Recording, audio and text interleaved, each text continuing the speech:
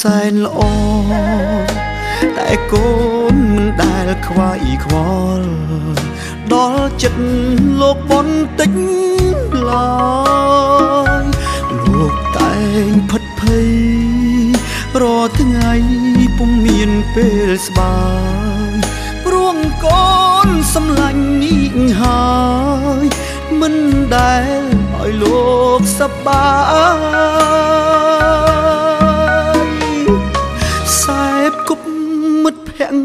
មិនដែលបានល្អ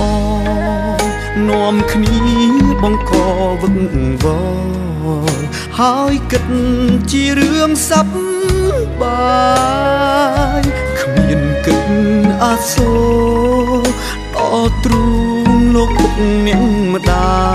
យទ្រូងលោកស្ទើរតែបែកធ្លាយនិយាយក៏កូនមិនស្ដាប់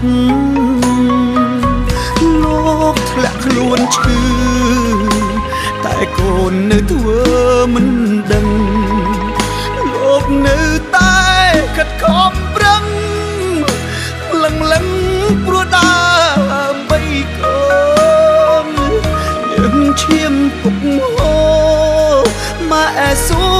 មិនតែមិនតូនព្រោះដើម្បីកូនប ងខ្លួនមិនស្ដាយជីវិតគុំរំភ្ញាក់ខ្លួនស្ទើរតែហួងពេលលោកឈឺគេនឹងកន់ទៀតសល់ពេលប៉ុន្មានទៀតទៅនចង់មើលថែជួងពេលដែលដើរខុំផ្លូវស ន្យាពីថ្ងៃនេះទៅកូននៅថែលោករហូត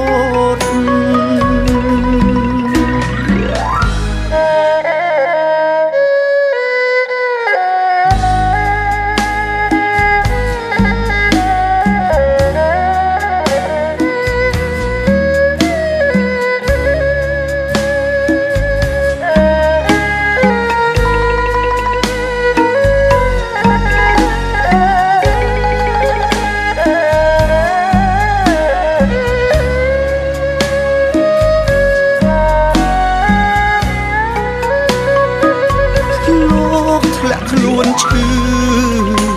តែកូននៅធ្វើមិនដឹងលោកនៅតែខិតខំប្រឹងលឹងលឹងព្រោះដើម្បីកូនយើងឈាមពុកហូ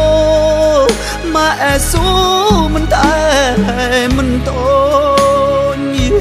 ព្រោះដើម្បីកូនបង ខ្លួនមិនស្ដាយជីវិតទុំរំភ្ញាក់ខ្លួនស្ទើរតែហួងពេលលោកឈឺ